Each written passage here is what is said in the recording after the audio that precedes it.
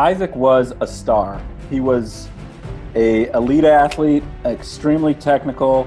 Um, he was an artist. Uh, sometimes coaching him felt like being Picasso's art teacher because it's kind of like, uh, why don't you just paint? you know, you're going to make something great happen.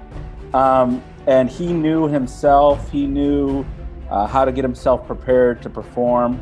Um, but he was uh, an elite athlete, and uh, like I said, a, a, true star. When he was wrestling, the whole gym stopped to watch him wrestle. Um, he uh, wrestled at the Midlands as a junior, which is in some years tougher than the NCAA D1 tournament because you have post grads competing in it or whatever. He upset the number one seed. He placed. Um, you know, as a Division three athlete, this is a, you know an amazing accomplishment. Um, he was a national champion. Isaac's wrestling the kid from Augsburg, and so of course there's a loud crowd for Augsburg.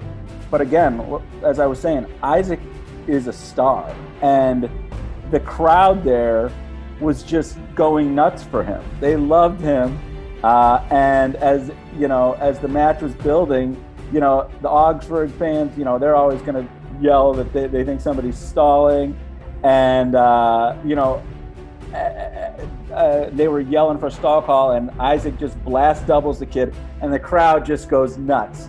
And then after the match, uh, Isaac does a backflip and then just goes shh to silence the crowd, and everybody loses their mind. Everybody loses their mind. All the, the, the whole rest of the arena is just going nuts. Uh, and afterwards, I swear, I mean, you know, there was there's only 10 national championships in a year. You know, it's pretty pretty impressive.